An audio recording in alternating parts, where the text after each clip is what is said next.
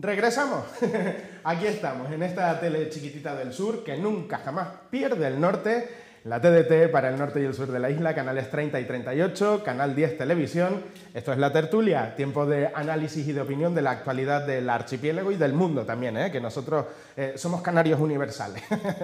bueno, estamos con eh, mm, Saida González, portavoz del Partido Popular en el Cabildo Insular de Tenerife, con Hermitas Moreiras, que es directora insular de Desarrollo Socioeconómico del Cabildo Insular de Tenerife por el Partido Socialista. Lo dije bien, ¿verdad? Sí. y está con nosotros también Coromoto Cori Llanes, todos la conocen por Cori, Cori Llanes, que es consejero de Coalición Canaria en el Cabildo Insular de Tenerife. Gracias a las tres por estar aquí nuevamente con nosotros. Nos habíamos ido hablando sobre la crisis España-Marruecos, lo dejamos en alto, sabemos que vamos a continuar hablando de esto durante las próximas em, semanas, deberemos de dejar respirar también a ver qué novedades y qué nuevos datos podemos, podemos ofrecerles. Bueno, hablemos del otro monotema eh, de este programa en, el último año, eh, pandemia eh, sanitaria y socioeconómica.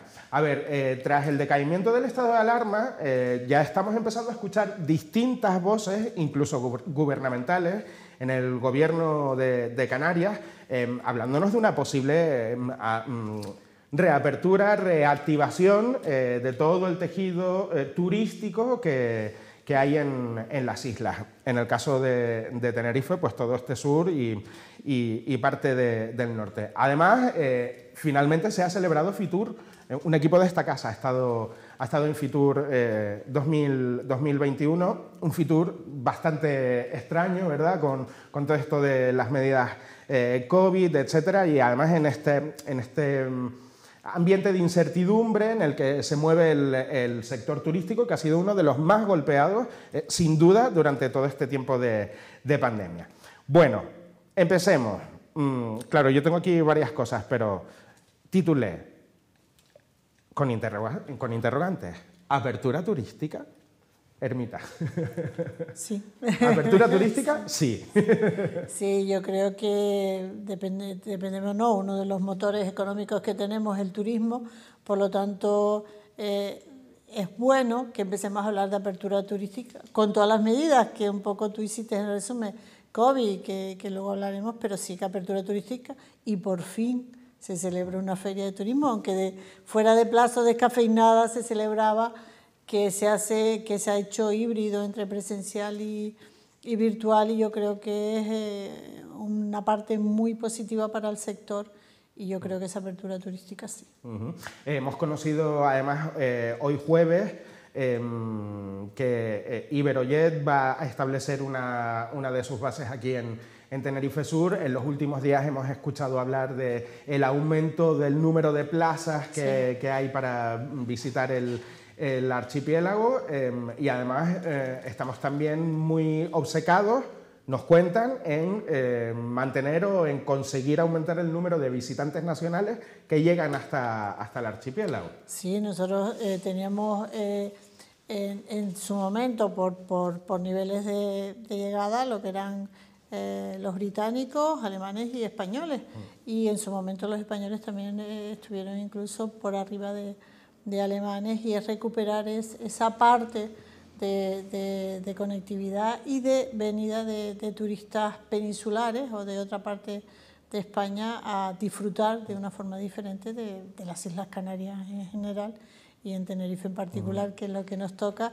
Y yo creo que esa parte es importante. Yo creo que también nos ha servido eh, este parón, por así decirlo, eh, para, para esforzarnos o poner el acento más en aquellos mercados en donde podamos traer eh, o incrementar ese número de visitantes turistas y uno de ellos es el, el, turismo español, que es donde se está poniendo el énfasis y es a donde va encaminada la feria de Fitur principalmente. Muy bien, yo veo a Saida con el pie. Saida, apertura turística. ¿Te inquieta este tema? No, es inquietante, es inquietante porque ya no solo es la, oferta y la demanda que podemos tener, es el ajuste que tiene que hacer todo, la, todo el tejido hotelero para volver a reactivar los hoteles en función de la, de la demanda que vayan teniendo y esto es algo que eh, se irá viendo a lo largo de los meses. Tenemos compañías como, como Jet2 que dejó de volar hasta julio, hasta sí, hasta finales de junio, principios de julio, ha dejado de operar con, con Canarias. Y bueno, pues tenemos una situación de conectividad bastante complicada que esperemos que también las aerolíneas empiecen a reactivarse, porque ya no solo que se reactive la planta hotelera o el tejido eh, de, de, todo lo que cubre el sector turístico en Canarias, sino que además se tienen que reactivar otras muchas cosas. Tenemos eh, bueno, pues el Reino Unido que, que todavía nos tiene en semáforo rojo, tenemos eh, el turismo nacional, que una de cada cuatro reservas, de cada 14 reservas, solo una está viniendo para, para Canarias, y bueno, pues son eh, datos muy, muy preocupantes. En Alemania, eh, bueno, pues vamos a ver cómo se desarrolla esos casos de, de la cepa india que mm. se han detectado y que han dado lugar a que se cierren edificios completos policialmente, ¿no? Para que los vecinos no salgan. Bueno, pues toda esa serie de situaciones estamos en, un, en, un, en una situación muy compleja todavía sanitaria y epidemiológica. Todavía los índices de vacunación a nivel nacional, un 12%, son unos índices muy bajos. Eh, bueno, hay que ser prudente, ojalá, eh, bueno, básicamente porque si no vamos a pasar mucha hambre y mucha miseria, esperemos que se reactive, pero que se reactive eh, con unas condiciones de seguridad, eh, que seguimos manteniendo una situación estratégica magnífica y es la insularidad. Y bueno, pues otros, otras islas y otros, otros países con islas han utilizado esa, esa ventaja de la insularidad que tienen, que está claro que si tú eh, controlas lo que te viene de fuera y tienes a la población controlada adentro, pues lógicamente te puedes convertir en un destino eh, de alto nivel, eh, de alta demanda y bueno, pues podríamos haber tenido en su momento si hubiéramos trabajado en ello inicialmente, pues ahora a lo mejor no estaríamos hablando de, bueno, de la situación económica y de los índices de paro y miseria que tenemos en Canarias. Eh, cada vez parece que es más claro que el, pasaporte COVID eh, va a venir para quedarse en, nuestras vidas. Eh, Cori, ¿apertura turística? Por supuesto. Yo creo que eso, además, es nuestro desarrollo económico, es nuestro motor, ¿no? Y yo creo que es fundamental y viene siendo hora de, establecer eh, las líneas necesarias para reactivar eh, realmente de lo que nos, lo que nos mueve. ¿no? Eh, a pesar de que los datos de la pandemia, que vemos que hay menos casos, que ha ido bajando, no, no, no, voy a decir porque ha sido, unos días ha ido aquí como un pico sube-baja, pero a pesar de que está mejor, sí decir que nosotros, la, sociedad, no estamos sino en el 12% de vacunación. Yo creo que es importante eh, tener esto en cuenta. ¿no? Vacunando en Canarias ya a la, a la población de entre 50 y 59 años. Eh, estamos en esta, en esta semana. ¿eh? Bueno, ya al menos se puede pedir cita. Yo creo que, que es importante acelerar más ese, ese proceso. ¿no? Eh, decir también que mm, eso por un lado, pero claro, por el otro, todos los, esfuerzos que tienen que hacer todas las plantas hoteleras, todos los comercios, ¿no? a, la hora de adaptarse, está siendo pues importante lo, lo que tienen que, adaptar. Y tiene, o sea, tiene que ir de la mano de, de un plan de choque mm, del, del gobierno, porque es que si no Sí, podemos estar diciendo, oye, la, conciencia ciudadana, la cuestión cívica, el de mantener las distancias, ya eso, pues algo que ya durante este año y pico, pues lo, hemos aprendido. Bueno, vamos a decir que hay algunos que lo están aprendiendo, pero es importante eh, esa implicación de la ciudadanía. Y por supuesto, si esto no viene apoyado con medidas del gobierno y al que yo creo que tanto el gobierno de Canarias sí plantean cosas, están haciendo cosas y demás, pero son insuficientes después, eh, tratando lo que es una pandemia. Nosotros hemos presentado en el Cabildo un plan de choque que, que ha sido rechazado eh, por el gobierno insular. Entre otras, planteábamos además partidas presupuestarias para que fueran usados con los remanentes de, Cabildo, que estamos hablando de 101 millones. Eh, que, bueno, que yo creo que es de, mm, sumamente importante meterlo donde tiene que, estar. Y además planteábamos una serie de cantidades de, mm, pues, de, una inversión eh, bianual en el que se pudiera trabajar la conectividad, el tema de empleo y que pudiera reforzar. ¿Que están haciendo cosas? No me vale solamente con que me digan que están haciendo cosas. Creo que es insuficiente y que se tiene que, hay que poner toda la carne en el asador, porque tenemos que ponernos por delante de muchísimas cuestiones. Estamos hablando de que luego eh, ya después estamos hablando de las competencias, eh, todas todos los territorios, y yo creo que es fundamental que Sí, por supuesto, es urgente abrir, además el Oroparque, Ciamparque, Parque, etcétera, abren y eso es, nosotros entendemos que es el, termostato perfecto, ¿verdad? Eh, para mm, saber cómo, cómo, están las cosas. El Oroparque y Ciamparque no van a abrir porque sí, a lo loco, ¿no? Sí, es importante, Son pero... referentes de esta isla, ¿no? Y tiene que estar acompañado de mm. medidas que eh, ayuden al sector a salir adelante. Ermita. Además, eres eh, directora insular de Desarrollo socio, Socioeconómico. Eh, ¿Qué opinas de lo que te ha dicho la representante de Coalición Canaria? yo, eh, yo creo que nosotros, por la trayectoria que llevamos, hablando en Tenerife en todo este tiempo, somos un, destino consolidado y que es verdad que nos ha tocado esta crisis más que, que otras veces, pero yo creo que eh, el sector eh, va a salir o ha salido eh, preparado, por no decir reforzado, porque yo creo que hay un tema también de resiliencia y de reinvención, yo creo, de, que, de cualquier empresa.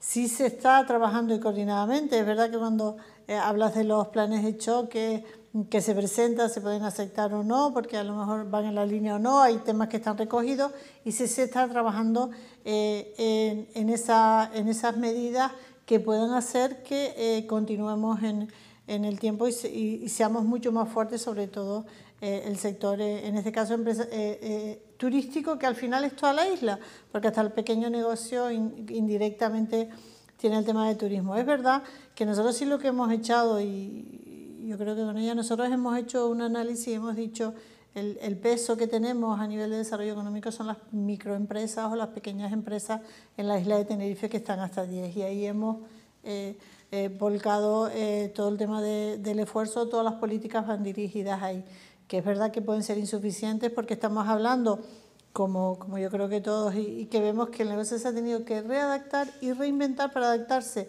a una nueva circunstancia que me dice que ahora lo que antes me valía ya no me vale porque tengo que introducir una cosa nueva. Introducir una cosa nueva es invertir en mi negocio. Y luego mm, el, ya voy a ser crítica, las ayudas del resto de las administraciones han sido mm, tarde, por así decirlo. Eh, yo estoy hablando de las que están superiores a nosotros, gobierno de Canarias y, y, eh, del Estado, y, Estado y de Europa. Entonces, porque a día de hoy todavía de Europa está viniendo eh, un montón de millones que yo no veo. Viendo el gobierno de España los millones de Europa. que, que, no veo, porque al final se ha convertido en discurso, bueno, la reactivación económica con el plan que vamos a Europa, ¿y dónde? Porque al final tiene que ser efectivo. Entonces, si, si yo creo que estamos trabajando, estamos dando pasos, nos está, a lo mejor son menos visibles o porque trabajamos como, como más calladitos, sobre todo con el tema de la conectividad, con el tema de desarrollo, y algunas que sí se ven y que, eh, y que, y que, están ahí, yo creo que, que estamos preparados para salir, eh, tenemos muchas ventajas, somos destino consolidado, se nos reconoce, tenemos referentes, tenemos un montón de virtudes, lo que ocurre en esta isla a nivel de lo que queramos ver, desde, eh, desde que te bajas, lo que puedes sentir, lo que puedes ver, pero sobre todo porque los tinerfeños y las tinerfeñas hemos hecho una isla acogedora donde puedes encontrar cualquier cosa para pasártelo bien el día que vengas a disfrutar. Déjame meter la cuñita, somos gente del 10 en Tenerife, claro, ¿eh? claro, claro, del 10. Exacto. Nunca, y todo eso se conserva. Es verdad que, que yo ahí sí eh, con respecto a las dos compañeras de tertulia, es un proceso también largo. Es como decir, hemos hecho un parón y ahora tenemos que empezar a caminar. Y caminar va a ser rodado. Tenemos 30.000 personas en ERTE. Los hoteles se van a ir abriendo porque hay cadenas hoteleras que tienen más de un hotel y irán abriendo uno, luego otro. Ha pasado, por ejemplo, el ejemplo que ponías, el, eh, la sociedad o la empresa que tiene el Ciampar y el, y el, y el, Oro Parque, habló, y el Acuario, abrió primero el Oro Parque y el Acuario, ahora ve que puede abrir el Ciampar, que es otro entonces, poco a poco y todo se va a ir reactivando poco a poco. Pensar, que yo espero que sí, porque todos los números apuntan, pero yo también ahí siempre prefiero ser cauta, esperemos que todo ruede y que todo empiece a caminar con tranquilidad, entendida la tranquilidad, y que, y que salga todo, porque yo creo que, que, que la isla ya por fin empezamos a, a, ver una lucita que nos pueda permitir salir de este tema. Eh, ¿Sería necesaria también una reapertura teniendo en cuenta que los ERTES, eh, los, eh, sí, los ERTES, no los ERES, los, ERTES, acabarán decayendo en algún momento y claro, o sea, el Estado no puede hacer, hacer frente también a, a, los ERTE mm, de una manera indefinida en el, en el tiempo, ¿no? Eh, Vamos a ver, eh, ya se viene previsando y, y, ha salido noticias de que, bueno, pues el porcentaje que está pagando eh, la Seguridad Social con el personal que, que está pagando, que están en situación de, de ERTE se va a ir reduciendo. No tenemos tampoco fecha de continuidad de, de cuánto más van a durar los ERTE y ya estamos a punto de que, ya que venza el plazo, de, de que las empresas puedan tener a su personal las empresas, por otra parte, no tienen la capacidad económica para si esos ERTE se tiene que convertir en, expedientes de regulación de empleo definitivos, lo que viene siendo un despido, eh, no tienen capacidad económica para hacerle frente y por eso, bueno, pues ya los datos del Fondo de Garantía Salarial, que es eh, la entidad que hace frente al pago de una parte, que no todo, de los salarios o, el despido que, le corresponde a los trabajadores, bueno, pues está viendo incrementada exponencialmente también la demanda de, personas que están acudiendo al Fogasa para eh, recibir esas cantidades que ya las empresas no les han podido pagar. La situación empresarial está siendo eh, bueno, pues caótica con el cierre de empresas y ya ese cierre de empresas que ya eh, sin capacidad económica para hacer frente a, sus deudas. Y bueno, pues todo esto eh, es un sumatorio de cómo todas las ayudas que se fueron mm, de alguna manera vendiendo desde el Estado, desde la comunidad autónoma, desde el Cabildo, bueno, pues han llegado tarde, algunas ni siquiera han llegado, de hecho ayer mismo hubo una manifestación en Madrid ¿no? sobre esas ayudas que el Gobierno de España había ofrecido a los ayuntamientos, que es indudable que son la puerta de entrada de todas las necesidades de los ciudadanos, porque es la, la, puerta, la primera puerta a la que, a la que acuden y de hecho, bueno, pues las competencias de, en materia social corresponden a los ayuntamientos, ¿no? Y bueno, pues los ayuntamientos se han visto eh, abocados a dar una ayuda económica eh, superior a la que eh, presupuestariamente tenían. A la capacidad que puedan tener. Bueno, pues todo ese sumatorio sumado a esas noticias de bueno, pues esa pedrea de millones que dicen que nos va a tocar, aquí y vamos a centrarnos en Canarias, ¿no? la pedrea de millones que día tras día en el periódico vemos que vienen no sé cuántos millones para una cosa, no sé cuántos millones para otra, realmente no ha venido en un euro, no ha venido en un euro, es que por no venir no ha venido ni Ávalo a firmar el convenio de carreteras, que te acuerdas que hace un mes hablaste de ello, y bueno, pues aquí no ha pisado, no ha puesto el pie en Canarias para firmar el convenio que teóricamente nos dé los 500 millones eh, que estaban eh, bueno, pues promocionando en los medios de comunicación. Bueno, pues con estos polvos, esos, estos lodos, ¿no? con esos polvos, estos lodos, y aquí estamos hablando de esos, de millones, millones que no llegan a nada y al final los que están esperando son los empresarios. Y a todo esto hay que sumarle em, la negativa de la justicia. ¿Verdad? Eh, Tribunal Superior de Justicia de Canarias, Fiscalía em, y previsiblemente Tribunal Superior, em, que no aceptan eh, las medidas de prevención eh, anti-COVID eh, propuestas por el Gobierno de Canarias tras el decaimiento del, estado de alarma. ¿no? perdón, es que no caigas en eso. No es el, Poder Judicial el que dice que no, no, no. Ellos tienen que decir que no porque no tenemos un poder legislativo que haya regulado y legislado sobre qué pueden hacer las comunidades autónomas. Es que la semana pasada yo hacía una lectura ¿no? y decía Uy, uy, uy. Estamos, estamos viendo, estamos viendo deslizar desde el poder legislativo. A ver, en este país tenemos tres poderes, fundamentalmente. Bueno, luego estamos nosotros, el cuarto, pero eso ya es más discutible. Tres poderes. Ejecutivo, que son los que gobiernan, legislativo, que son los que hacen las leyes, y el judicial, que es el que aplica em, o el que dice si se ajustan a norma y todas esas cosas, las leyes que el legislativo hace y que el ejecutivo eh, pone en marcha. ¿no? Eh, estamos viendo una dejación de funciones de esos dos poderes em, casualmente llevados por políticos, ¿no? Claro, casualmente no. ¿Eh? Eh, estamos viendo ahí una dejación de funciones y están pasándole la pelota a la, justicia, Cori. Y con esto les pido que seamos breves porque nos quedan cuatro minutos y tenemos que dar la fruta. ¿vale? vale.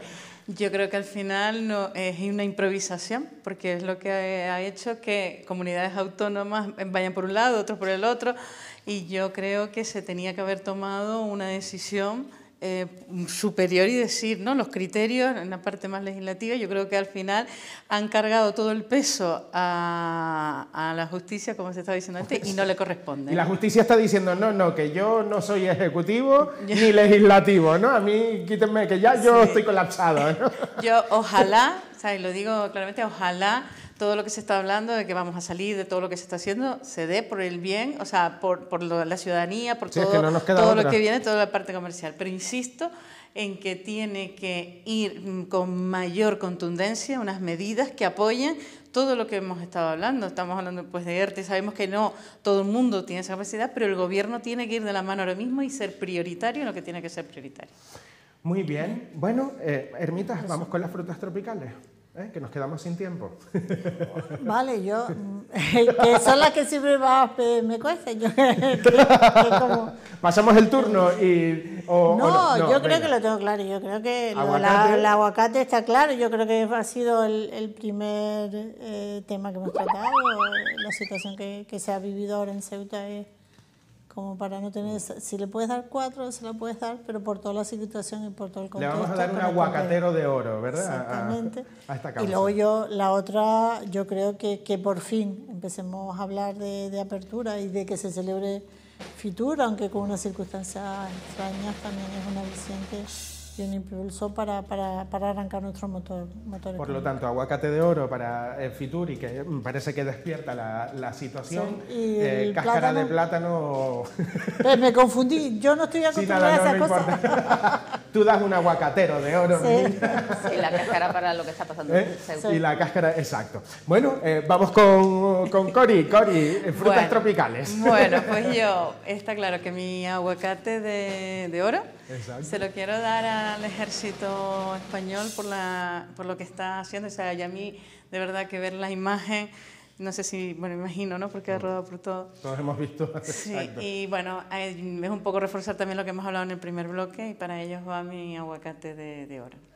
Y luego la, mi cáscara eh, de plátano, eh, con el mismo tema, además al ministro escriba, porque además no, no solo una cosa que lo digan que lo digan los políticos, que lo decimos nosotros, sino se, lo está diciendo Cruz Roja, lo está diciendo SEA, lo está diciendo muchísimas entidades, muchísimos colectivos, de que tenemos que tener eh, pues una solución para la crisis migratoria. Y por eso va mi cáscara de plátano al ministro que no ha venido, que, o sea que no da una solución concreta para para nosotros. ¿no? Bueno, cáscara de plátano que pone ahí Cori, al ministro escriba por si se resbala.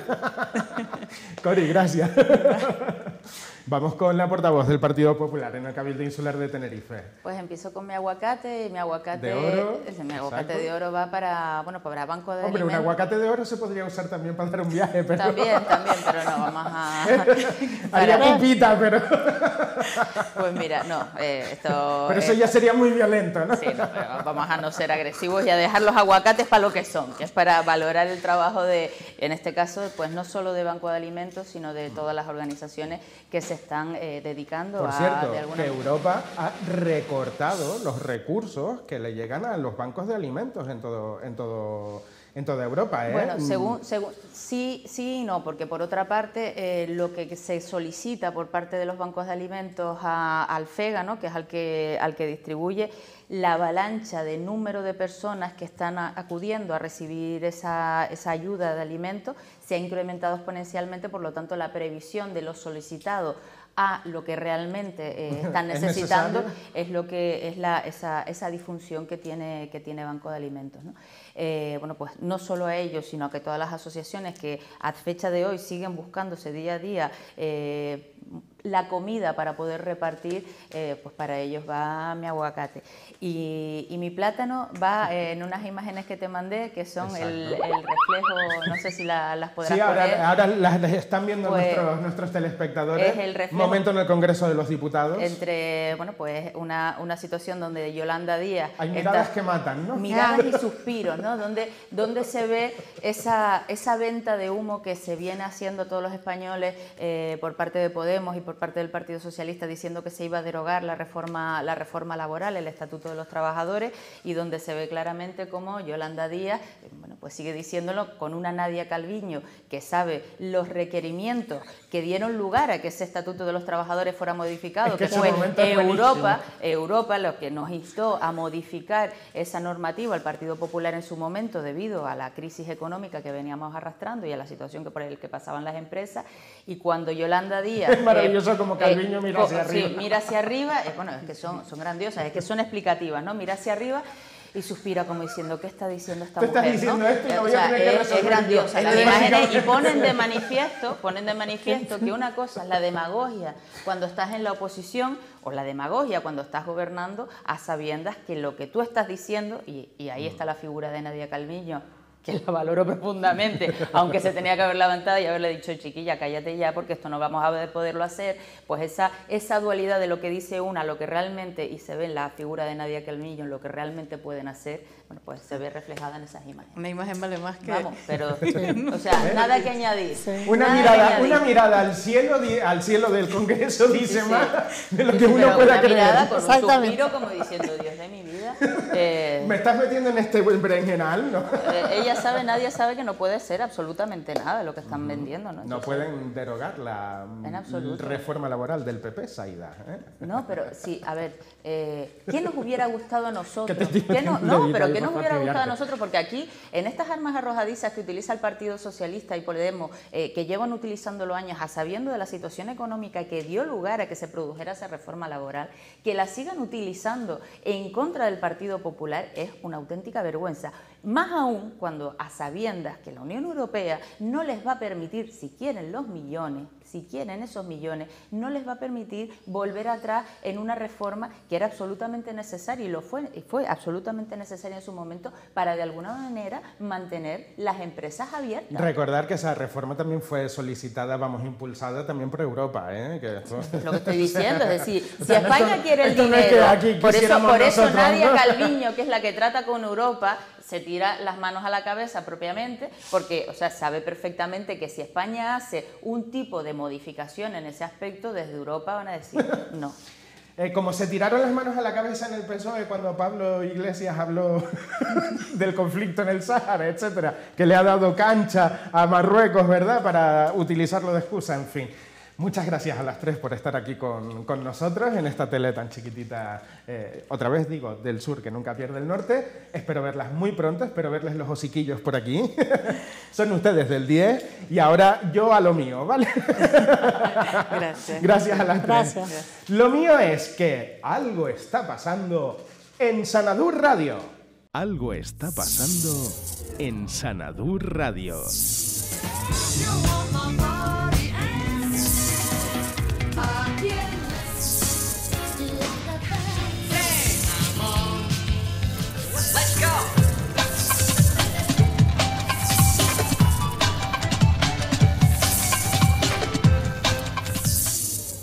Despierta Tenerife en Sanadur Radio, de lunes a viernes a las 8 en punto de la mañana hasta las 10. Por ahí pasa media isla y no saben ustedes todo lo que largan por la mañana en la radio, que además muy pronto en FM en el, en el norte, en el sur estamos en la 103.6 de frecuencia modulada, también en sanadurradiotenerife.com, en la TDT, bueno, tienen infinidad de, en nuestra web, en Evox, pueden escucharnos a la carta en directo como les dé como les dé la gana. Estén muy pendientes a todo lo que hacemos en, en Sanadur Radio.